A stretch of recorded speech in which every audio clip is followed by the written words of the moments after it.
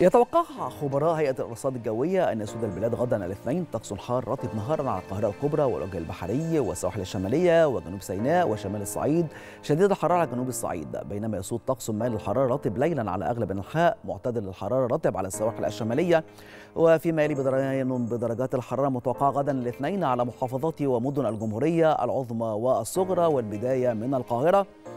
32 24 الإسكندرية 29 22 مطروح 28 23 بورسعيد 31 26 والإسماعيلية 33 24 إلى السويس 33 24 العريش 30 23 طابة 30 24 شرم الشيخ 35 27 والغردقة 35 27 إلى الأقصر 36 26 أسوان 37 27 الوادي الجديد 37 26 حلايب 34 29 وشلاتين 36 28 والآن نستعرض معكم درجات الحرارة المتوقعة غدا الاثنين في عدد من العواصم والمدن العربية والعالمية.